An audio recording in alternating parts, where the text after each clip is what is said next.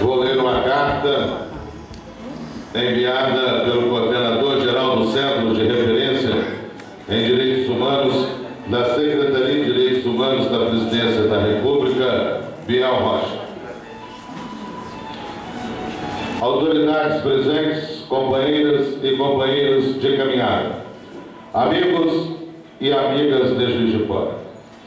Vocês não imaginam a frustração que estou em não poder estar ao lado de cada um de vocês neste momento histórico para os movimentos populares de Juiz de Fora. Compromissos em Brasília, na verdade, compromissos com o Brasil, tiram-me hoje da minha terra natal e obrigam-me a justificar esta ausência. Minha tristeza nesta vastidão do Planalto Central, entretanto, é logo superada pela alegria, digo até pela euforia de saber que este centro de referência em direitos humanos, que hoje inauguramos, é um marco.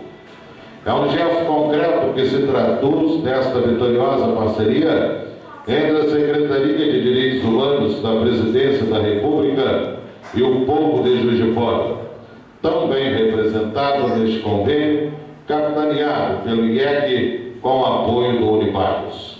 Por fim, é importante que se faça justiça e diga que este centro de referências em direitos humanos só tornou-se realidade diante das prioridades sociais do governo da presidenta Dilma, graças à competência, carinho e obstinação da ministra Maria do Rosário e da imprescindível participação direta e organizada do povo trabalhador da nossa amada Juiz de Fora. A luta continua, agora com mais este grande instrumento em nossas mãos. Um grande abraço a todas e a todos. Brasília, 13 de fevereiro de 2012, Biel Rocha.